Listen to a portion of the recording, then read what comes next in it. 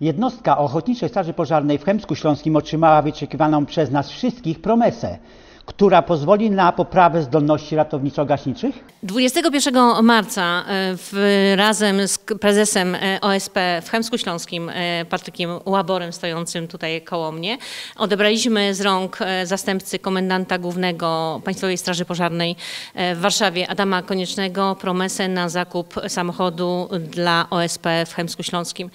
Jest to samochód, który jest niezbędny dla poprawy gotowości e, ratowania mienia i mieszkańców e, nie tylko Chemska Śląskiego, całego powiatu e, kamiennogórskiego, bo jednostka Chemsko-Śląskiej jest w krajowym systemie ratownictwa gaśni, pożarniczego i to jest niezbędne do sprawnego właśnie funkcjonowania strażaków, którzy są bardzo chętni do takiej działalności, a tym samym do zapewnienia e, bezpieczeństwa e, wszystkich e, naszych mieszkańców. Pani burmistrz, ta, tutaj stoimy właśnie w garażu. Jest już ten garaż przygotowany do tego samochodu. E, W tamtym roku zrobiliśmy remont na tyle, żeby można było właśnie zagwarantować możliwość wjechania samochodu o takich gabarytach, jaki jest potrzebny do akcji e, ratunkowych.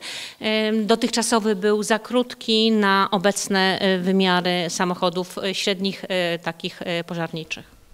Panie Patryku, jakie to ma być auto dla Was? Proszę Państwa, to ma być średni samochód ratowniczo-gaśniczy z napędem na cztery koła. Wiadomo, tutaj, tutaj wszystkie te nowe podwozia, tak jak Pani Burmistrz powiedziała, już nie mieściły się w starej remizie. W tej chwili już jesteśmy przygotowani, żeby taki samochód przyjąć do nas do jednostki. Co musicie natychmiast szybko zrobić? Natychmiast musimy jak najszybciej e, ofertę, przetarg i wszystkie postępowania zgodnie z procedurami, ponieważ tak jak tutaj Państwo widzą, ceny na rynkach szaleją i, i gdzieś te ceny mogą nas przerosnąć względem dotacji, ale miejmy nadzieję, że to wszystko uda się sprawnie rozwiązać. Czy możecie sobie wybrać nazwę autka, które będziecie chcieli? Nie jest to możliwe, niestety procedury przetargowe tego zabraniają. Tak jak tutaj my do przetargu możemy podać tylko opis techniczny samochodu i to też tak, żeby nie wskazywać żadnego konkretnego wykonawcy. Jak są usytuowane sytuacje, które y, zamawiacie auto, czy one przychodzi już wyposażone? Wie pan co, to wszystko zależy od tego, co jest napisane w SIWZie. W tej chwili, co zostało ogłoszone, no to samochód posiada radiostację, jakieś tam podstawowe wyposażenie. Y, Tutaj należy nadmienić, że dużą część y, sprzętu zostanie przełożona po prostu z innych samochodów, ponieważ mamy dość spory zasób tego sprzętu, który gdzieś tam możemy przełożyć, skompletować pojazd tak, żeby był gotowy do wyjazdu. Pani burmistrz, będzie możliwość, jakby trzeba było dopłacić?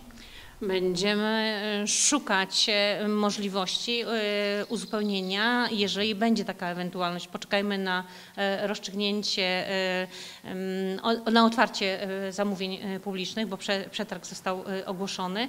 Em, Będziemy czekać, jakie zgłoszą się firmy, z jakimi cenami. Tak jak tutaj prezes powiedział, one szaleją. Myśmy robili montaż finansowy w tamtym roku, bo część zadeklarowała się, większą część zadeklarowała się gmina i to jest zapisane w, w tegorocznym budżecie. Jest e, pomoc e, Państwowej Straży Pożarnej e, do tego montażu finansowego i jest również kwota, część kwoty pochodzi z Wojewódzkiego Funduszu Ochrony Środowiska. To daje łączną kwotę taką, na którą myśmy chcieli na tamten rok. Czy ona wystarczy w tym roku? Tego nikt nie wie. Przed otwarciem ofert nikt nie może powiedzieć, e, e, czy to będzie wystarczająca kwota. Jesteśmy na to również e, przygotowani ja mm, mam jakieś pomysły w razie czego, gdyby trzeba było e, mm, szukać następnych środków.